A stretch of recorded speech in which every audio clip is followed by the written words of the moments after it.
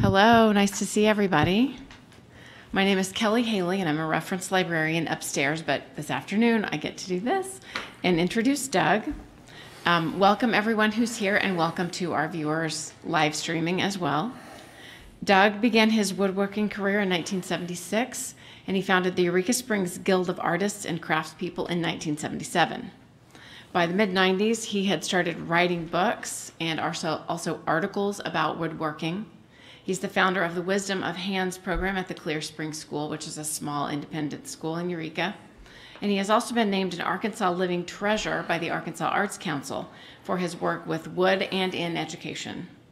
He's published over 100 articles in various woodworking magazines and educational journals, and he has written 13 books on woodworking. Um, he is selling one, his latest one here today. That's your latest, right, Doug? Yeah. And then he has a couple more. Um, in addition to his newest book, the newest one that's here today is just called The Wisdom of Our Hands. Doug continues to teach woodworking, grades 1 through 12 at the Clear Springs School, and he also works daily in his own wood shop. And he travels around teaching adult woodworking also at um, various clubs and schools. He lives in a hardwood forest at the edge of Eureka Springs with his wife, Jane. Please help me welcome Doug. Thank you. Thank you very much.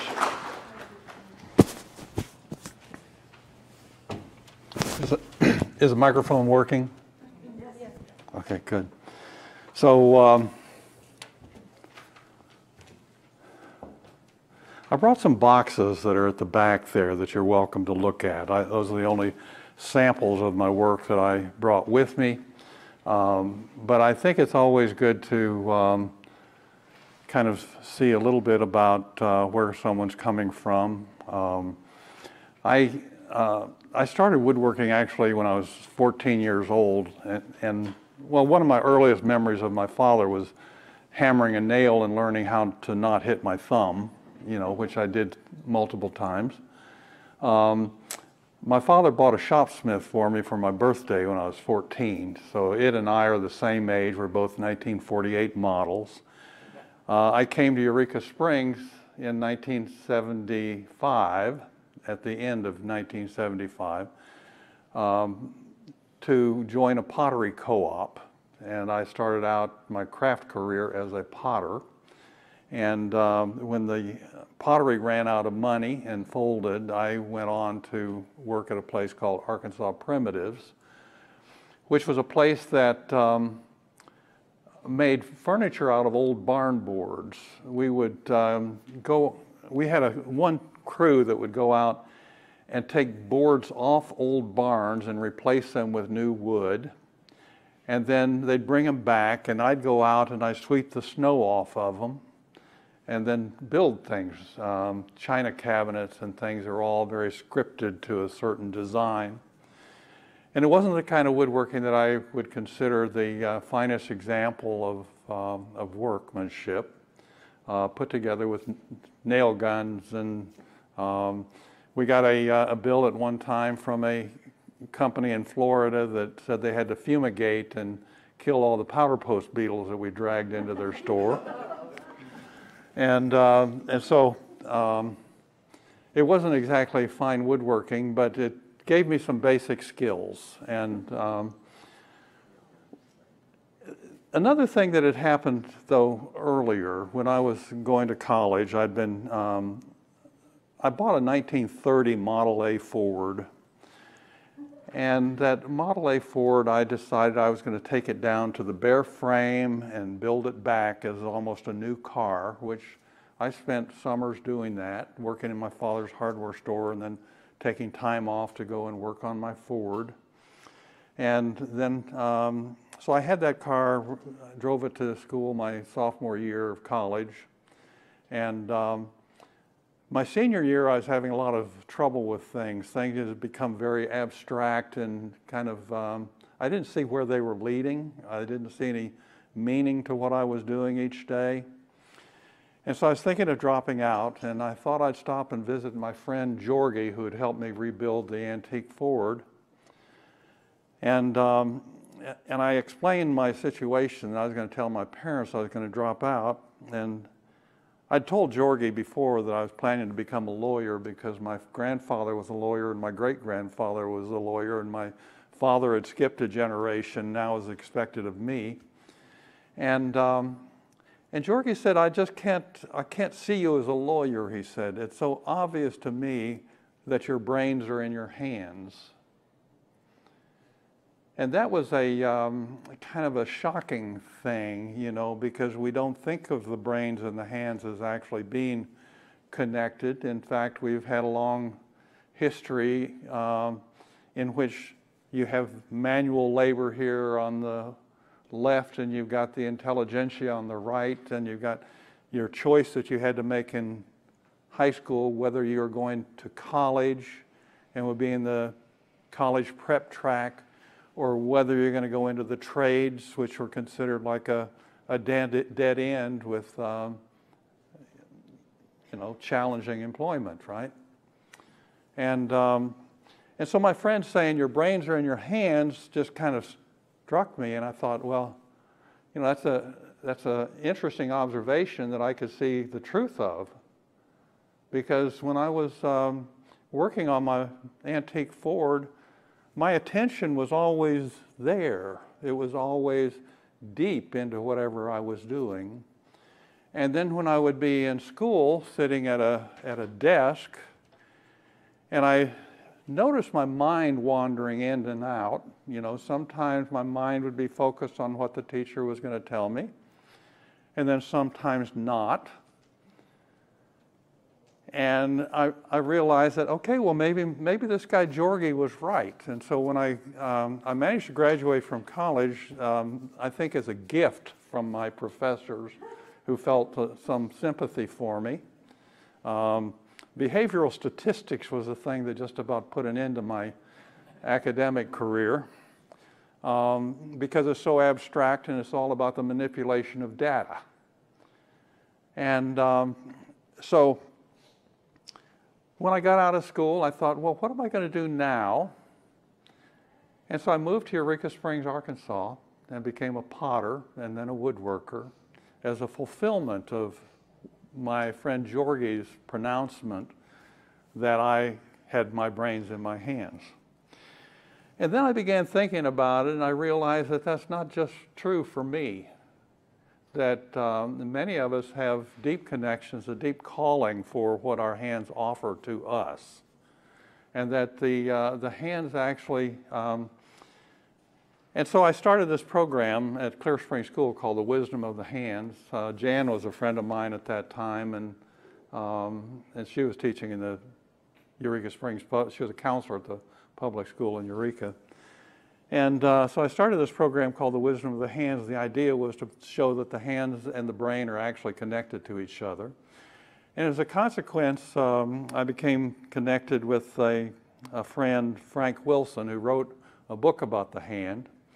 And, um, and he said that the hands and the brain co-evolved as a system.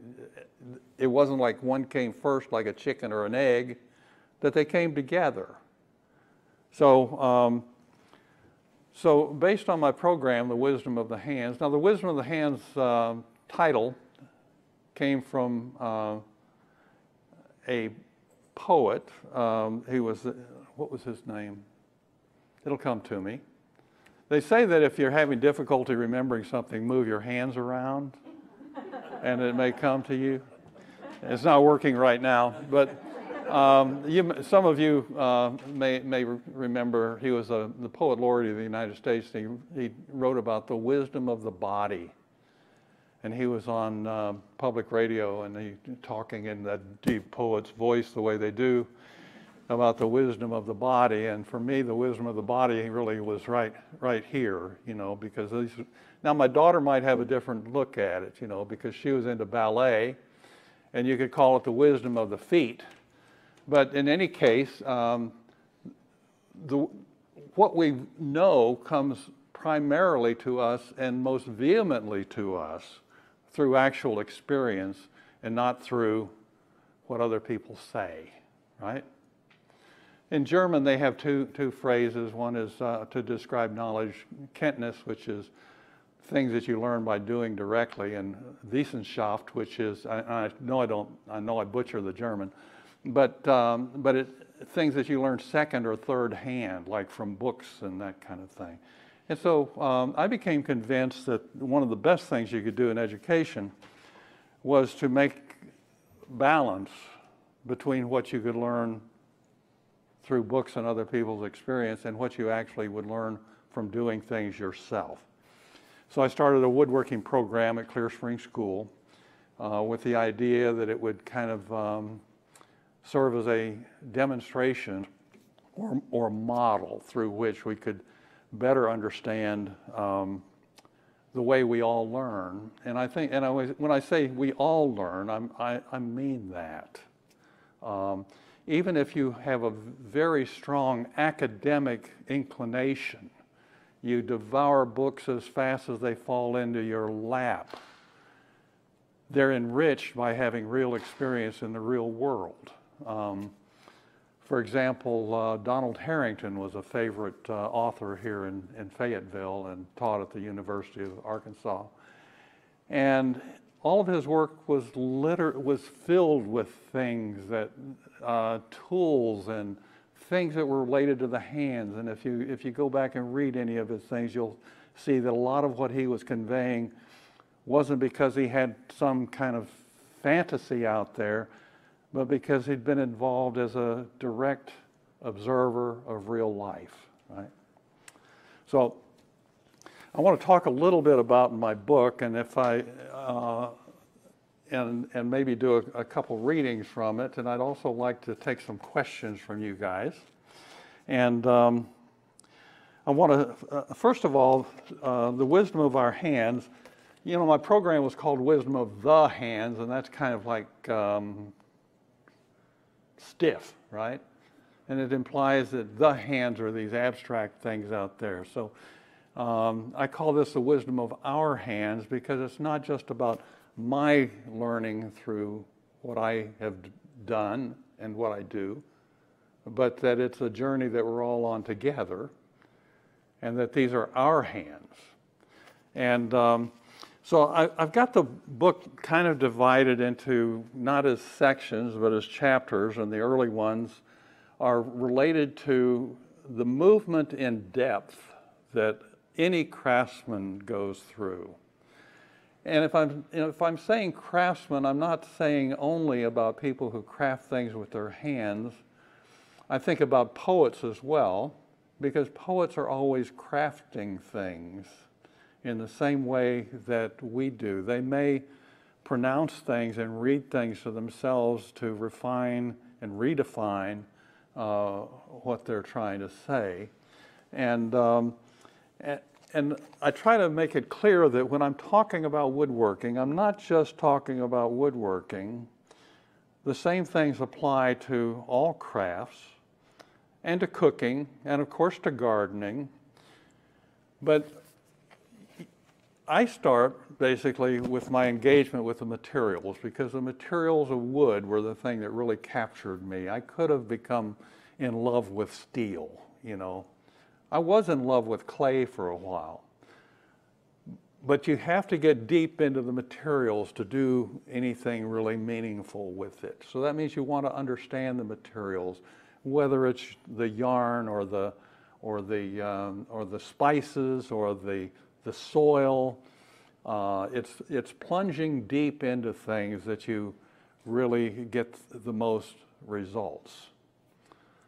Um, and by results, what do I what do I mean? You know, um, one is the depth of engagement. You know, uh, the deeper you go into things, the the the finer the rewards that come back to you. So. Uh, the first chapter is about materials because I want people to have kind of a little bit of insight into wood as a, as a material, as a stand in for what other what whatever other kinds of materials you are investigating and invested in, I wanted the wood to serve as an example of how you move deeply into the material world. Then the second chapter is about tools. And the way tools shape the intellect. And when you think about tools, a hammer seems like such a simple thing, you know, and yet a hammer is a thing that evolved through our civilization for generations. And originally it was the fist, the ability to hit with your own hand, which then was translated into a rock, which was then formed in steel, which then, um, and so when you're talking about a tool, you're not just talking about a, a, thing that you hold in your hand or a thing that you manipulate with a, with a keyboard. You're talking about intelligence that's been accumulated through the entire history of man. So um, I want people to look a little more deeply into tools and the way they become an extension of the intellect. Um, one of the examples I, I describe is um, the blind man walking with his stick. And the first time you try walking with the stick to try to find your way, you're feeling the stick in your hand as you're moving it back and forth. And then after practice, you're actually feeling the surface of the cement that you're walking over. The tool becomes an extension of the mind, so it's not just that the tool is something that allows you to do something, the tool is something that allows you to see things and to. Um, so uh, the uh, the third chapter is um, about technique because of course technique is a way the tools are then used, and the fourth chapter is about design. And then I go on into some of the um, what I think of as kind of the richer terrain, and that's the way what we do affects who we are. So, for example, when I was uh, teaching at Clear Spring School, I had um, I would teach um, seventh and eighth graders how to turn wood on the lathe. And as I would watch them turning wood on the lathe, it wasn't just that the shape was being formed there on the lathe and the sawdust was going on the floor. There were things that were happening inside them. Uh, the development of attention, for example, uh, to be able to really focus on something, to really let it draw you in. And then, uh, and so the, the girl standing at the lathe wasn't just shaping the wood, she was shaping herself, right? And that happens every time you engage in a creative process. Uh, so, for example, uh, I identify myself as a woodworker. I, I get my title from what I do. And, um, and a woodworker behaves in certain ways, and a woodworker does certain things, and those give me some definition of who I am. Um, I go into some kind of unusual spaces in here. For example, one of the things uh, I talk about is forgiveness. And um, it, it's, a, it's a skill that's not practiced well enough these days. And all forgiveness really has to start with yourself, and it's almost impossible to be a craftsman or an artisan in anything without making mistakes, without recovering from mistakes, and that's it's incredible practice because when you encounter other people that have made mistakes, then you say, "Oh yeah, I know. I know how that is." And you also learn that your mistakes are not only things they're not crosses that you bear your whole life. You know, woodturners talk about um, that's not a mistake, that's a design opportunity, you know. It's, it's, a, it's a, an opportunity for reality to intrude and redirect in a way that may often end up more meaningful. And a lot of it depends on. So I, this uh, this guy in South Carolina did a review of my book for um, for Front Porch Republic, and he told how my chapter on forgiveness at that point was really important to him because he was working on a musical instrument, and it just screwed things up and let off with a string of expletives. And his kids heard and came running and saying, What's wrong, Dad? You know? And he said, That chapter on forgiveness came at just the right time for him. and uh, because that's what happens, you know, we, we learn that we are human beings and that as human beings we make mistakes. Um, I, I'm going to do. Um,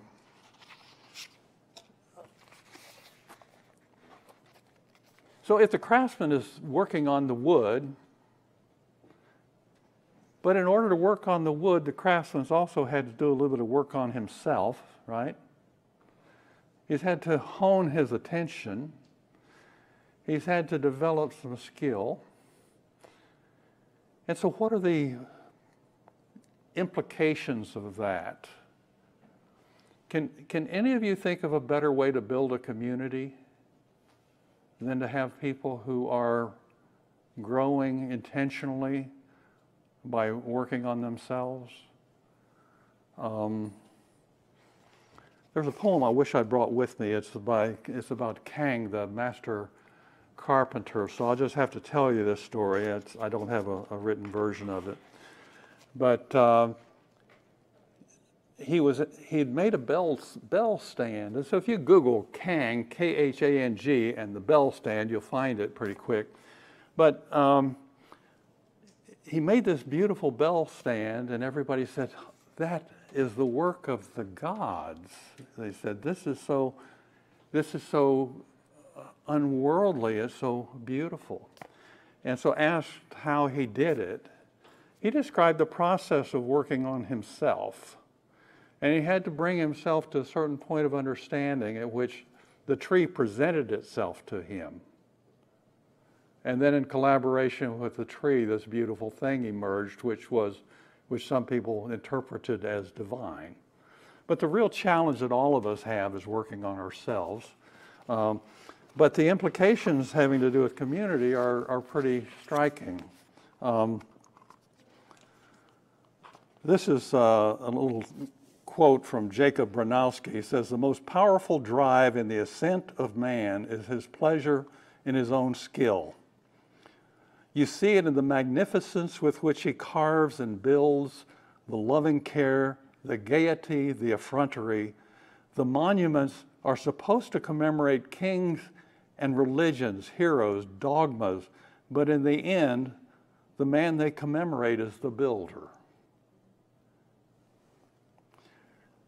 There are several avenues open to those who want to take part in crafting human culture. And so this is, you know, I'm talking here not just about making shit, uh, excuse me, making stuff.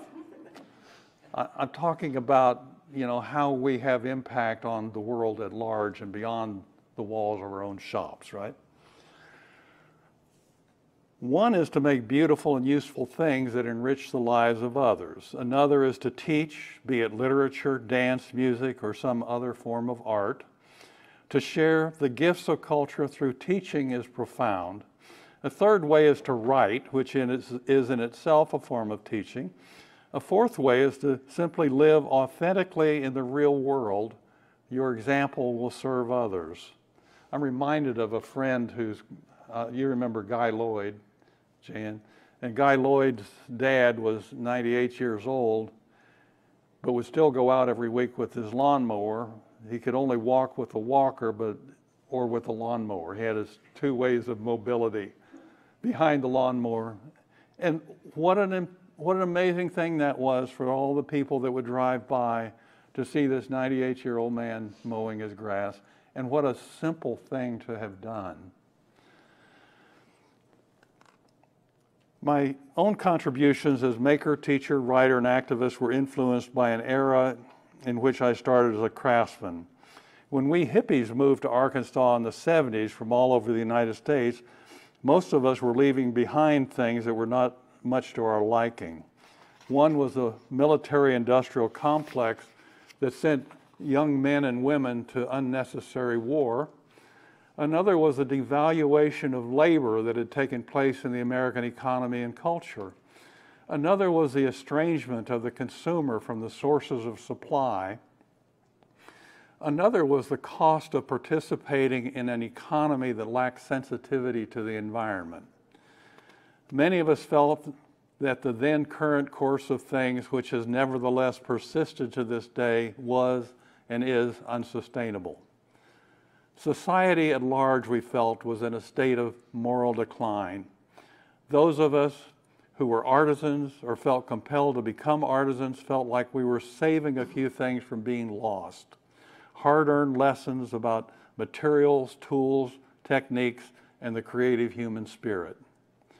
We were not just making stuff, we were saving techniques and ways of life, learning how to be closer to the land, more respectful of the environment, and more humane, just as the characters in Ray Bradbury's Fahrenheit 451 were saving books by walking around in constant recitation. We were building and saving skills that had been useful throughout the rise of humankind. If things went if things really went to hell in a handbasket, as some suspected, as some suspected they might, the skills we were mastering would be useful, not only to ourselves and each other, but for crafting our own lives, but also to those we might teach in putting society back together. How to raise vegetables, goats, and chickens on poor soil and rocky hillsides is not a bad thing to know if the world is falling apart. Knowing how to make a clay pot and how to cut and dry firewood for the winter offer not only means to make a living, but also preparation for a future in which those skills might be needed. How do you make something useful from wood you have harvested from yourself, from your harvested from your own small acreage? My community of Eureka Springs knew that even if things did not fall apart, we were learning and growing in our skills as well as in kindness and character as we encouraged each other.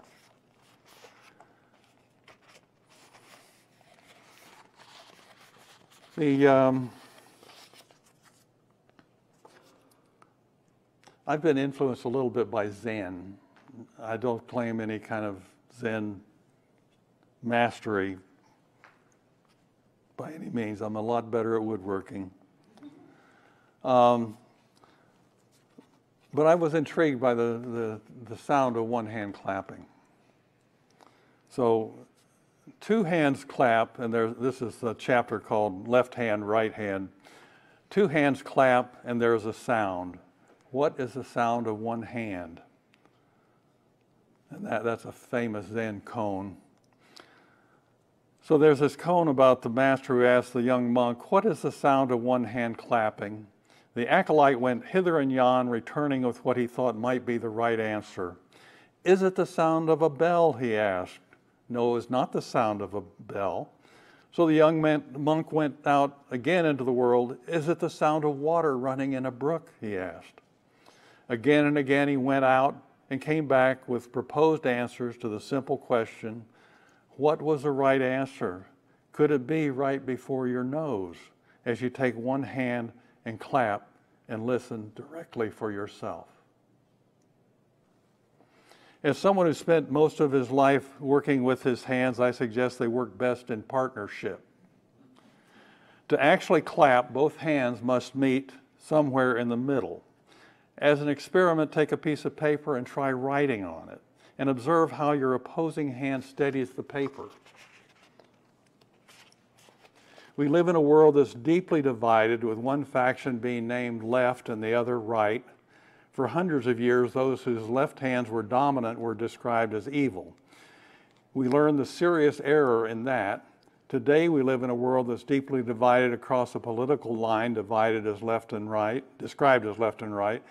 I have this hypothesis that the hands actually have the potential of bringing us together, just as one hand assists the work of the other.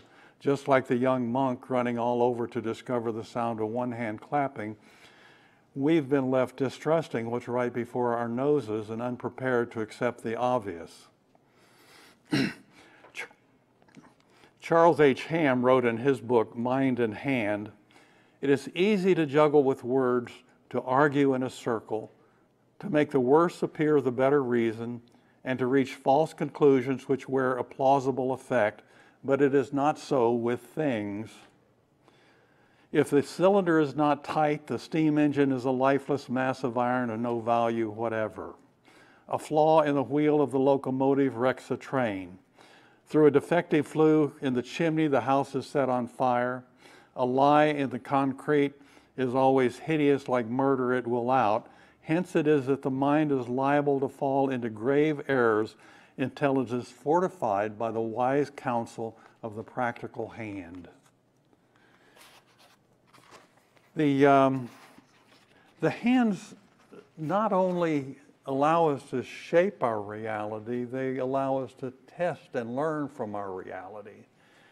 And while students are so often put in classrooms where they sit still at their desks and then are tested for what they have learned from the experience, some of them may do well and many do not.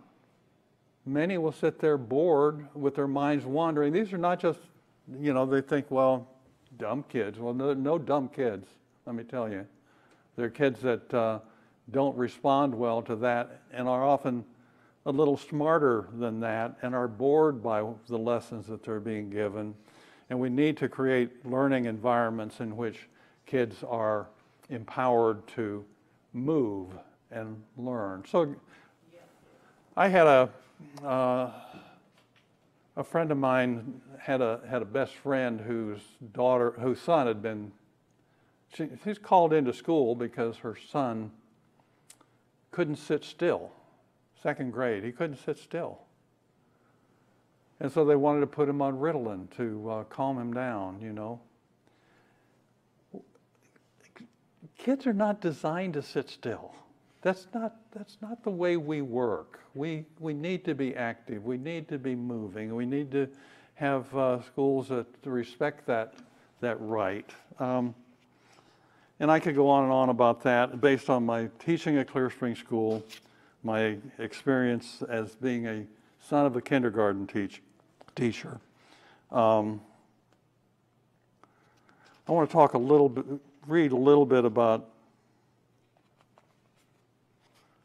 crafting a path forward.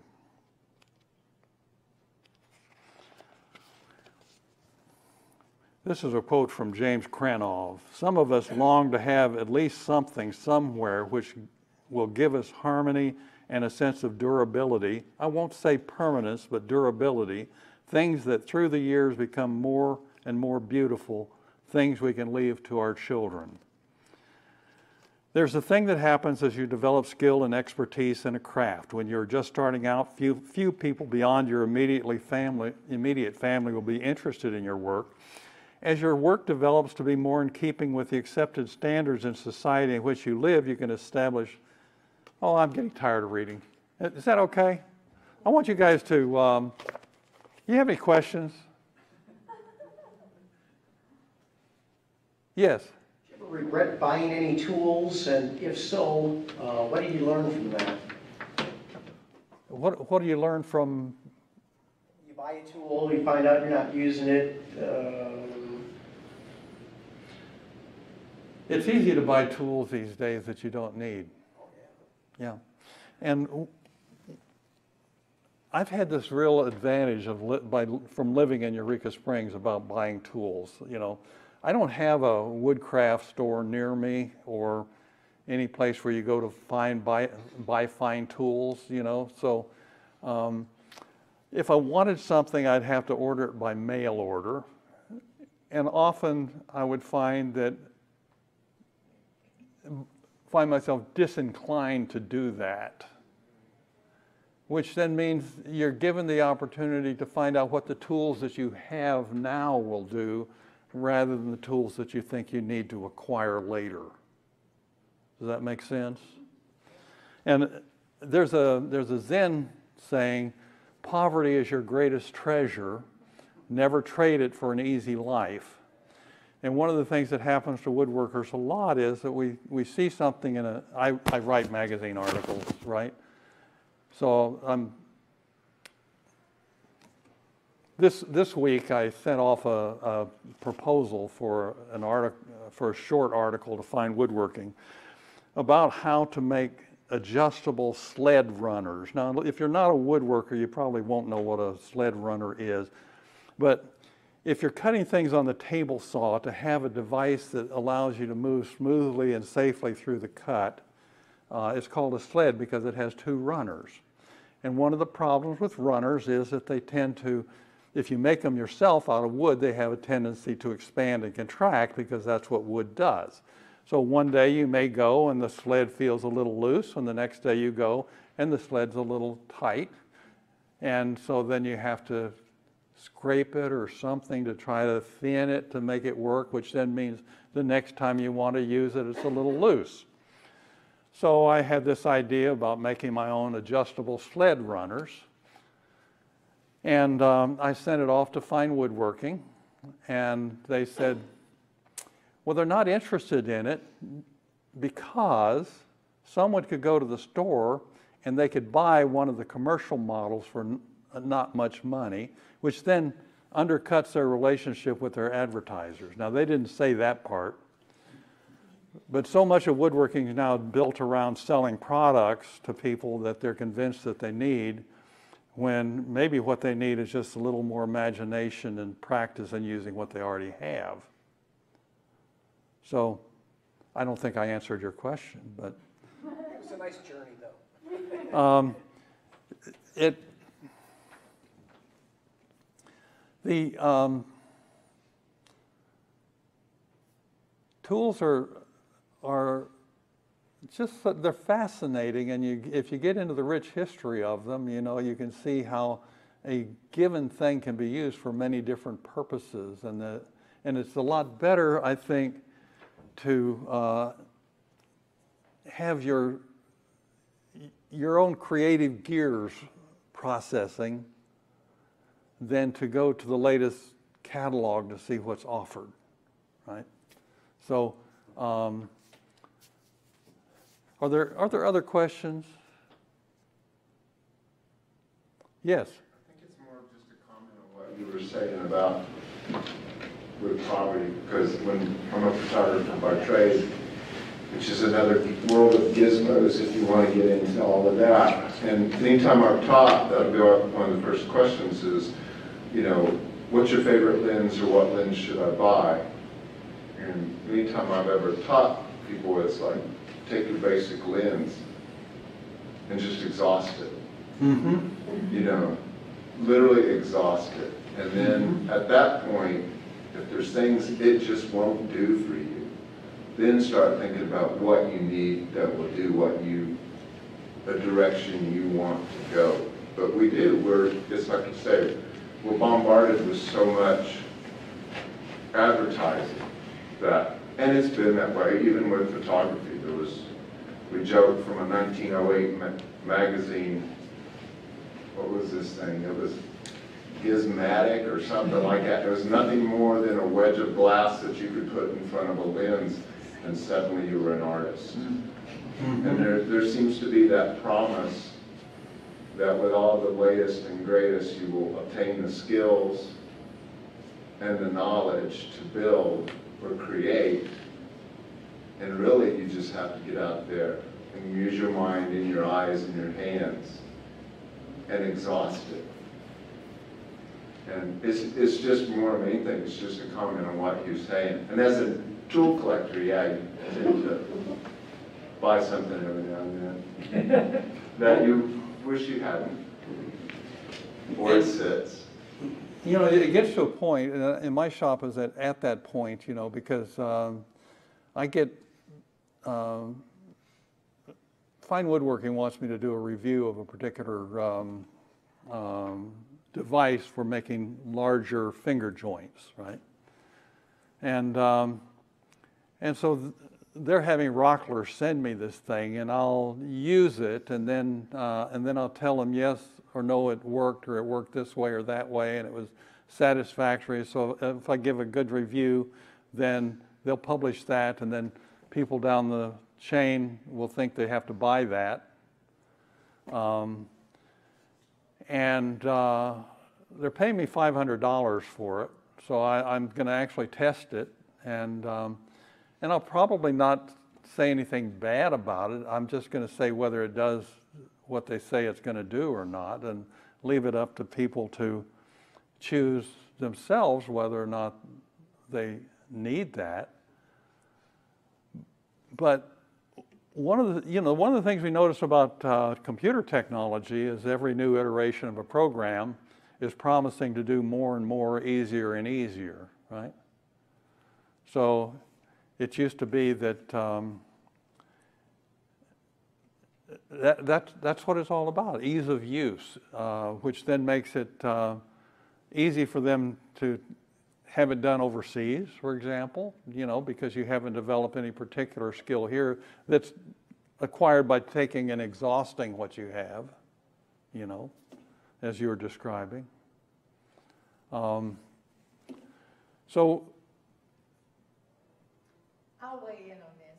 yes, please. Talking about exhausting, one of the, my chief irritants in life, because I, I love to cook and I cook a lot, you know, are all the gizmos and gadgets they come up with. Like, for example, who needs a slow cooker? You know, when you can just cook something slowly yourself without having to plug it in and make these things happen. It's just, um, you know, I guess a comment on our culture that, uh, overproduction, more products that we really don't need to use. So I understand what both of you are saying, and I Mhm. agree. Well, you know, there's nothing like a small kitchen. You know, because it keeps you from filling it with all these things that you don't need, you know. And to be able to make four steps to get from one side to the other instead of eight is an advantage. And uh, it- we, we, we're always looking outside ourselves for the answers to things. We think that there's something out there that we need when what we maybe need is to slow down. Not an example for me is um, I can spend a week working on a piece of furniture that, if cared for, can last a hundred years. You know, that's not a long time to work on something that will last a hundred years. You know. And of course, it depends on whether or not it's cared for. I mean, something, just because something is made doesn't mean it's going to last. Uh, very delicate things, if they're cared for, can last a long time because they're cared for, and very overly robust things may be thrown away because they're they're unpleasing to the person that would buy it or refuse it. Um, that the the point, of course, is that the hands, you know, if there's one thing that I could ask that people carry away from the book or from the talk, is to uh, give thought and observation to what my friend had told me that my brains are in my hands. Because that was for me the thing that really shifted my outlook and made me reconsider my life. And, um, and if, if, you're, if you're thinking about the fact that your brains are in your hands, you might be a little more cognizant of what the repairman is doing when he comes to fix your, fix your washing machine. You might, um, you might be a little more observant when you're going through Dallas Fort Worth and you're seeing the attention that the man applies to cleaning the mirrors in the bathroom. You might, y- you might just kind of look at things slightly differently and, uh, and value the things that you see coming from your farmer's market rather than from the big box store. Uh, or you might value what's coming and carefully picked at great distance and transported to you because it's something that's real.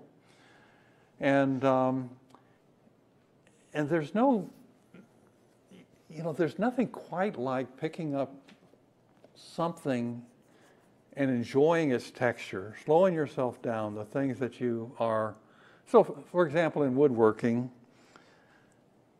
I, I have I offer some advice, and it's to slow down and, and enjoy the texture of things as they're transformed. It's not just take a router and go zoom across a board, but uh, feel the results, then take a piece of sandpaper and feel the results of that. Let yourself get deeply sens- sensuously involved. Um, some of what I talk about has to do with the application of the senses because the senses are key. They are the reminder that we're, we're in a real world here, that we have the opportunity to savor and enjoy. And it's, um, we're, we suffer from too much internet. I'm, I know I do, suffer from too much internet, su- suffer from too much abstraction um, have the, it's interesting because of my students, you know, um, and I've had, I've had a lot of students. One was a 98-year-old naval propulsions instructor from Webb, which is a, um, I, I could hardly believe he was still teaching, but he made it through my class and carried home boxes at the age of 98. Um, I had a, a student who was the uh, assistant DA for Los Angeles County. But they're people that have their lives filled with things that they need surcease from. You know, they want to find themselves immersed in things that are more deeply meaningful. And, uh, and whether it's your garden or your cooking or your craft, uh, these things are all there and they're accessible. So I'll, tell one more little last story from the book, um, and it's about um, my wife's father, um, John, or as my daughter called him, Jaja. And uh, he was 98, 90, he was 89 years old, and my wife had never been able to figure out what to give him as a gift. He'd been retired at that point for 20 years, 20 some years. And so we couldn't buy him a tie. And so she, my wife was asking, well, what, could- what could we get him this year for Christmas? And I said, well, how about a little whittling knife and a little block of wood that I could cut into something, of an animal shape that he could then whittle? And my wife said, well, I'm willing to try anything. So I bought a little woodcraft whittling knife and cut up a piece of wood, uh, basswood, so it was sort of like a dog, and put them in a package and sent them to uh, to Florida. And um, Jaja opened the box, looked at it, and kind of puzzled over it, closed the box up, and it ended up put, being put on a shelf. And then one day, about a, a month later, he went over, he opened that box, and he took out that little dog and he started whittling on it. And he whittled every day for the rest of his life. And um, he would always tell me about the new masterpiece that he was working on. and, you know, I've, uh, I've sold my work at Silver Dollar City, and I've known, you know, I've had articles of carved furniture in them and this stuff. I know what good carving is. And his carving, his whittling was not what you would call mastery. But for him, each, each day was something in which he brought some direct improvement to his own skill.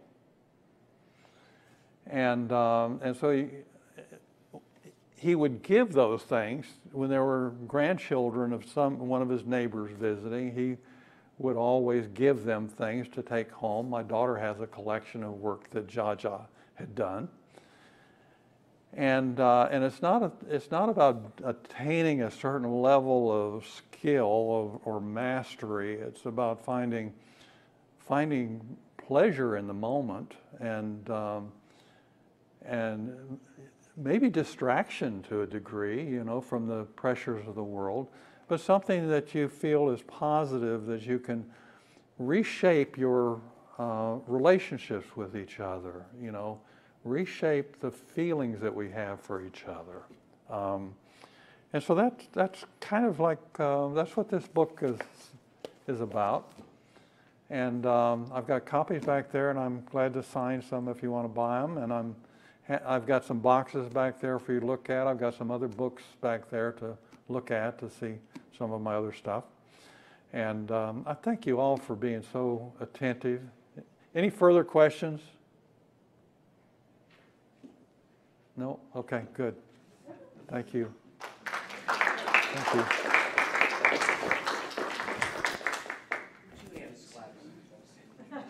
That was a lot of hands clapping. I th- Thank you.